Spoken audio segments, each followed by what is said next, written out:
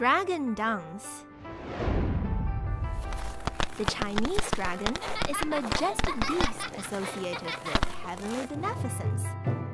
Dragon dances have been indispensable to Chinese festivals and events. Originated about 3,000 years ago, dragon dance was a type of rain rituals, which involved a dragon image animated by dancers to secure favorable weather and a good harvest. Nowadays, dragon dance has become a folk custom during holidays. A flying dragon can set off such a festive atmosphere.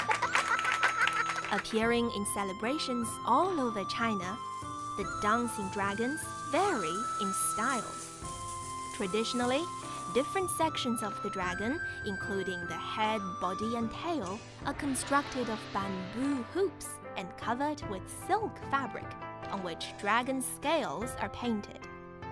Both the head and the body have supporting poles which are used to manipulate the dragon. How to appreciate the dragon dance? Various dragon dance techniques bring the dragon to life, including roaming, entangling, crossing, and jumping. Dragon dance combines the Chinese martial arts, folk music, and dance movements. It's also a healthy physical activity. Flying the dragon, which is the totem of the Chinese nation, symbolizes Chinese people's yearning for a more beautiful life.